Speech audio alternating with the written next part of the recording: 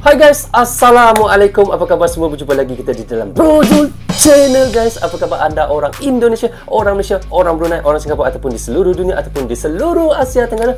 Apa khabar anda semua? Bagaimana dengan kesihatan anda hari ini? Adakah anda baik? Jika sihat, Alhamdulillah guys. Dan di kesempatan ini, saya juga mengucapkan selamat menyambut bulan Ramadan dan selamat berpuasa untuk anda yang Muslim di seluruh dunia dan di seluruh Asia Tenggara terutamanya di Indonesia dan di Malaysia. Apa khabar anda semua? Okey guys, hari ini saya nak mentionkan satu lagi video daripada channel iaitu channel Garuda Nusantara. So anda jangan lupa pergi ke channel Garuda Nusantara, klik butang subscribe-nya dan klik butang loceng tanda sokongan anda juga kepada Garuda Nusantara. Tajuk yang kita mahu rencanakan adalah kabar hari ini iaitu Jair Bolsonaro, ha, itu Presiden Brazil guys eh. Ha, tak terkutip ha, ataupun tak berkutik eh. Jokowi putuskan diplomatik dengan Brazil. Wow, apakah diplomatik itu yang diputuskan oleh bapa Jokowi dengan Brazil itu guys adakah perkara-perkara yang sangat besar adakah perkara-perkara yang sangat remeh atau untuk menyatakan kepada anda iaitu Indonesia ataupun bapa Jokowi memang sangat tegas dalam membuat sesuatu keputusan guys eh? apapun keputusannya adalah yang betul kerana dia tahu ia adalah untuk menjaga kedaulatan negaranya dan untuk menjaga warganya yang ada di dalam Indonesia bayangkan guys eh? 300 juta jiwa dia harus jaga guys eh? bagaimana ia harus membuat keputusan yang terbaik atau ataupun membuat sesuatu yang terbaik untuk rakyatnya. Itulah seorang presiden yang saya sangat kenal guys. Eh. Dan kami warga di seluruh Malaysia sangat-sangat menghormati iaitu bapa Presiden Jokowi guys. Ha, begitu juga dengan anda. Anda pasti lagi sangat berbangga kerana Pak Presiden Jokowi adalah presiden anda di Indonesia guys. Tetapi kami di Malaysia ini menumpang untuk berbangga juga dengan ada presiden seperti bapa Jokowi. Guys, walau bagaimanapun untuk mengetahuinya dengan lebih lanjut lagi ceritanya, mari kita sama-sama tonton Direction bersama dengan Brozul Channel. Mari. Indonesia tinjau ulang semua kontak militer dengan Brazil. Wakil. Presiden Ma'ruf Amin mengatakan Indonesia meninjau ulang semua kontrak kerja sama militer dengan Brazil. Oh, di sini maknanya Indonesia boleh dikatakan tinjau ulang eh, semua kontrak yang ada di, uh, dia dengan Brazil di situ yang dimasukkan oleh admin ni tadi. Oh, sampai begitu sekali ya uh, Jokowi putuskan diplomatik dengan Brazil ni. Memang orang kata boleh dikatakan ini adalah salah satu uh, kabar yang agak mengejutkan juga eh guys agak mengejutkan juga menganggap sikap Brazil terlalu berlebihan dalam memprotes eksekusi warga negaranya yang merupakan terpidana mati di Indonesia sehingga hmm. merusak hubungan hmm. Indonesia-Brazil. Kami tidak meninjau ulang kontrak dengan negara lain karena sikap Australia dan Belanda mereka tidak merusak situasi diplomatik kita seperti Brazil. Ah, di sini saya sudah faham apa yang dimasukkannya tadi. Kenapa Bapak Jokowi putuskan diplomatik dengan Brazil? Maknanya yang kisah yang sebelum ini saya pernah reaction kan guys ya, iaitu tentang Uh, dua uh, warga Brazil ya uh, satu warga Brazil dan satu lagi warga Belanda yang diberi hukuman mati akibat pengedaran narkoba. Jadi di situ Brazil dia tidak boleh menerima iaitu hukuman daripada Indonesia untuk hukuman mati untuk pengedaran narkoba. Jadi ia uh, banyak memboikot Indonesia dan sanksi kepada Indonesia. Di situ kita tengok ketegasan Indonesia, ketegasan bapa Jokowi uh, dengan apa yang dilakukan oleh Brazil iaitu Jair uh, Bolsonaro itu. Uh, jadi di situ Indonesia juga membuat keputusan untuk uh, putuskan diplomatik uh, dengan uh, iaitu dengan Brazil. Dan bukan saja itu sebelum ini saya ada juga mentionkan yang mengatakan uh, Indonesia juga akan uh, memutuskan iaitu kontrak untuk pembelian alutsista juga dengan Brazil. Betapa banyaknya yang telah dibatalkan dengan Brazil uh, disebabkan perkara yang kecil saja tetapi hingga uh, hubungan antara dua negara ni tadi menjadi uh, sudah menjadi orang kata menjadi keruh ha, sudah menjadi keruh. Ha, itu yang kita tidak mahukan guys ha. okey kita lanjut guys. Kata Ma'ruf Amin dalam wawancara kepada Reuters dalam upaya memprotes hukuman mati terhadap warga negaranya Brasil hmm, dan Belanda telah ya, memanggil ya, duta besarnya untuk pulang ke negerinya. Tapi protes Brasil tak berhenti di situ. Hmm, Presiden Brasil Dilma Rousseff bahkan menolak surat kepercayaan duta besar Indonesia hmm. atau kredensial hmm. Kementerian Luar Negeri Indonesia melakukan protes keras terhadap pemerintah Brasil yang menolak menerima duta besar Indonesia untuk Brasil. Kemenlu pun kemudian menarik Toto dan Ri Brasil. Dalam wawancara kepada Reuters, itu Ma'ruf Amin mengatakan bahwa Indonesia memberi kesempatan kepada para terpidana mati untuk melakukan upaya hukum. Hal ini diakui Ma'ruf Amin menjadikan eksekusi mati bisa tertunda berminggu-minggu hingga berbulan-bulan. Guys, ya, kita tengok di sini apa yang dilakukan Indonesia untuk memberi hukuman mati kepada iaitu warga Brazil dan warga iaitu uh, Belanda itu itu adalah salah satu hukuman yang ada sudah lama di Indonesia. Uh, untuk pengedaran narkoba. Begitu juga dengan Malaysia. Pun sama juga. Hukumannya yang sama juga.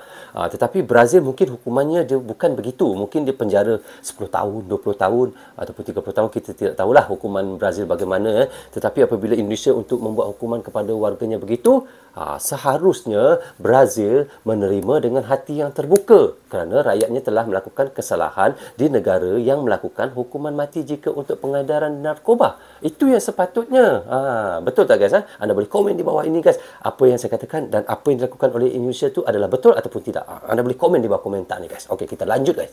Ini mendengar berbagai masukan bukan hanya dari Australia tapi juga dari ya. Perancis dan Brazil.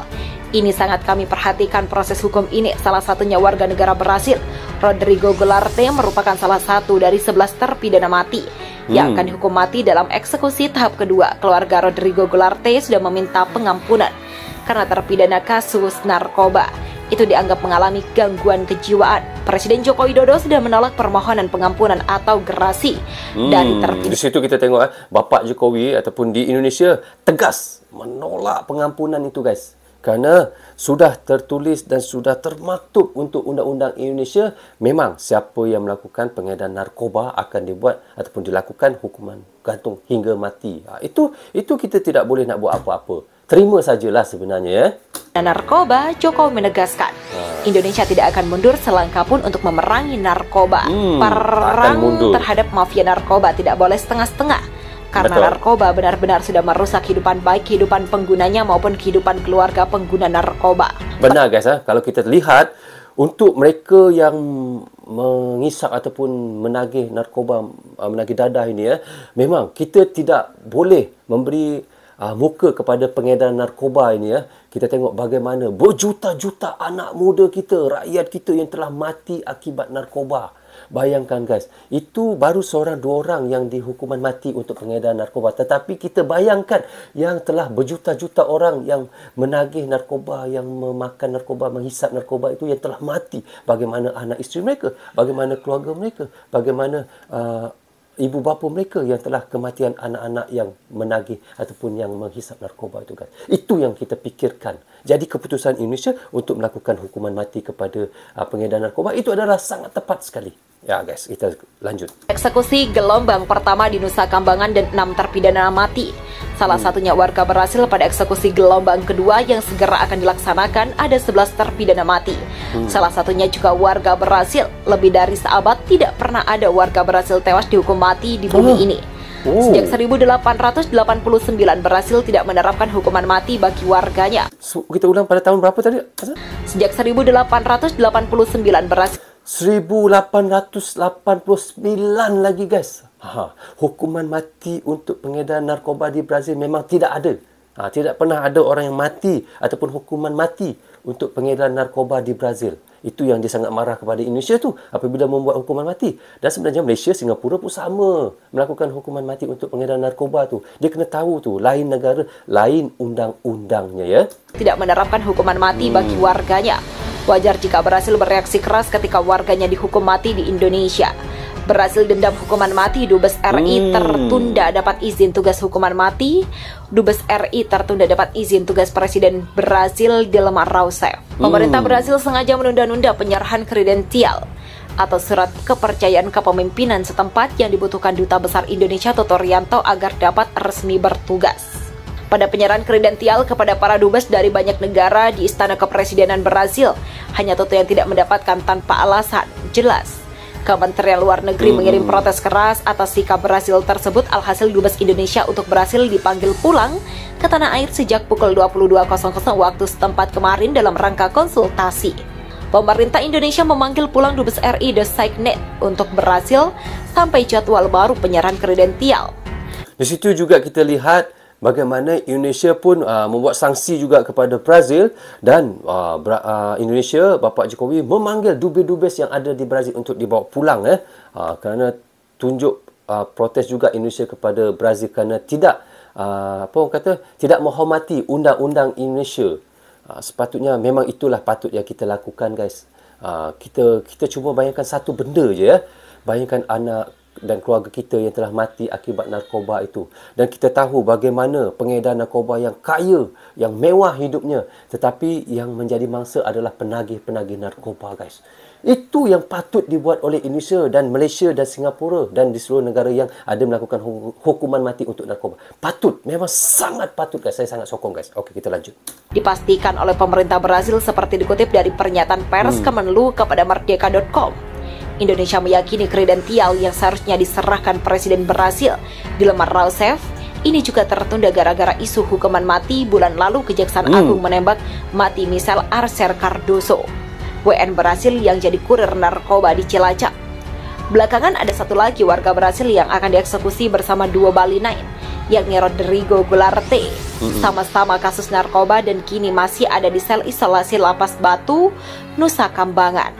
Kemenlu meyakini sikap tidak bersahabat berhasil dipicu kebijakan Indonesia mengeksekusi terpidana mati narkoba. Mm -hmm.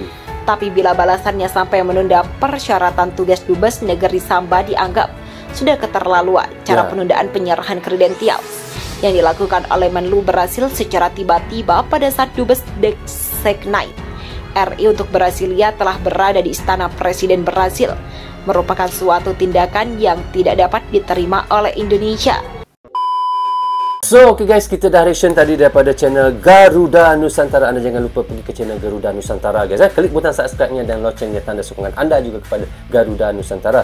Tajuk yang kita reactionkan adalah kabar hari ini Jair Bolsonaro tak berkutik Jokowi putuskan diplomatik dengan Brazil. Ah, memang kita tengok di situ ah bagaimana Brazil dia tidak ada melakukan hukuman mati untuk pengedaran narkoba. Katanya tadi daripada tahun 1800 iaitu 89 lagi mereka memang tidak pernah untuk melakukan hukuman mati untuk pengedaran narkoba. Tetapi lain kepada kita ya di negara Indonesia, negara Malaysia, Singapura dan banyak lagi negara lain yang melakukan hukuman mati kepada pengedaran-pengedaran narkoba tetapi itulah yang sebaik-baiknya guys ha? ha bagi kita untuk melakukan hukuman mati kepada mereka yang pengedar narkoba ini adalah sangat tepat sekali guys. Kerana apa? Kita bayangkan ya berjuta-juta dan berapa ramainya rakyat-rakyat kita yang telah mati akibat narkoba.